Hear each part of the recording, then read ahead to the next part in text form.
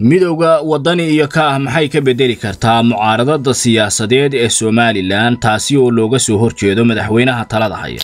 Ma isfahmi karaan labada shacab ee kala taageersan labadan xisbi siyaasadeed marar hore oo ay midoobeen maxayse guul ka gaadheen qorshayaashoodii? Midnimo nooceeya ayay midoobayaan miyay isku biirayaan waddani iyo kaah mise mucaaradada oo keliya ayay ka midoobayaan jaani siyaasadeed oo nooceeya ayay ka haystaan mustaqbalka siyaasadeed maxamuud xaashi cabdi iyo cabdiraxmaan ciro warbixinteennan ayaynu ku falaqaynaynaa jawaabaha su'aalaha kan.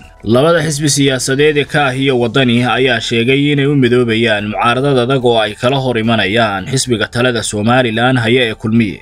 Kaasi oo ay ku riixayaan inuu doorasho daah furan waddanka sida ugu degdega badan uga qabto taasi oo loo madla yahay sannadkan fooda inagu soo haya ee labaatan labaatan iyo afar hase yeeshee midnimada labadan xisbi siyaasadeed ayaa waxaa ku jirta isdiidooyin fara badan inkasta oo ay sheegeen inay mucaaradada keliya u midoobayaan. Ilowareedyo kala duwan oo ka soo baxaya heshiiska ay hogaamiyayaashu galeen ayaa qaarkood waxa ay sheegayaan. Inay sameeyeen saami qaybsi siyaasadeed iyo marka ay hadafkooda ku guulaystaan sidii ay u wadaagi lahaayeen jagooyinka muhiimka halka ay warar kalena sheegayaan inay si rasmiya isugu biirayaan labadan xisbi siyaasadeed iyaga oo taageerayaashooda iyo shacabkooda si cudud leh ugaga hor iman doona xisbiga talada somalilan haya ee kulmiye.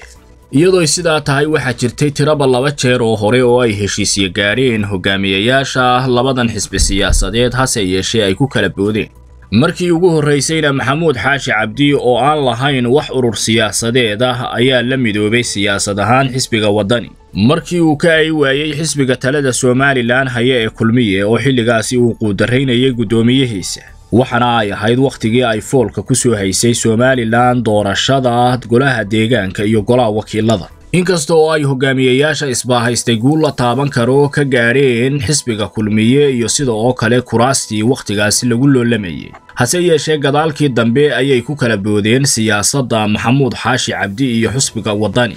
Heshiiskaasi oo ahaa kii ugu horreeyey ayaana fashilmay oo haba yaraatee aan laga gaadhin hadafkii laga lahaa. Marka laga reebo kuraas badan iyo maayirada magaalooyinka inay ku guulaysteen mucaaradku kuwaasi oo maxamuud xaashi ay qaarkood taabacsanaayeen heshiiskii labaad ee dhex mara labadan xisbi siyaasadeed ayaa waxa uu ka dhacay waddanka sacuudiga iyada oo lagu sugan yahay xajka.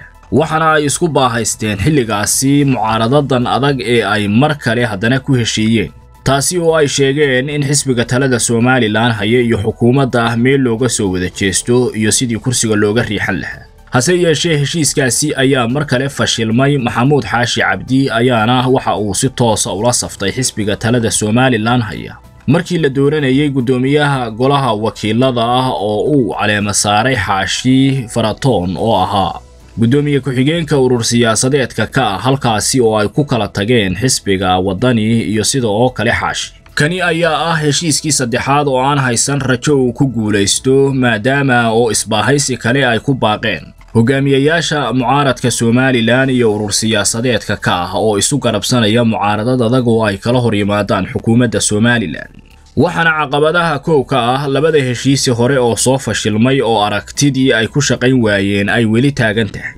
Caqabadda labaad ayaa ah labada taageerayaal oo aan isdhexgeli karin sida oo kalena lahayn iskaashi siyaasadeed oo soo jireenah caqabadda saddexaad ayaa ah ujeeddooyinka la kala leeyahay oo kala duwan. Xisbiga mucaaradka ah ee waddani ayaa ku mintidaya sannadkan sidii uu ugu guulaysan lahaa kursiga madaxtinimada. Halka siyaasi maxamuud xaashi aanu haysan jaani siyaasadeed oo uu ku haabsado jagada madaxtooyada ee jamhuuriyadda somalilan hase yeeshee tartankeedu uu u furan yahay inuu ka mid noqdo saddexda xisbi ee somalilan sharcigeedu ogol yahay xukuumadda ayaana waxa ay leedahay awoodda ugu badan ee ay ku soo baxayaan urur siyaasadeedyada iyo sida oo kale xisbiyada somalilan ka tartamaya. Tanina waxa ay urur siyaasadeedka ka ah ku noqon kartaa caqabad kale oo iska hortaagta inuu ka mid noqdo saddexda xisbi.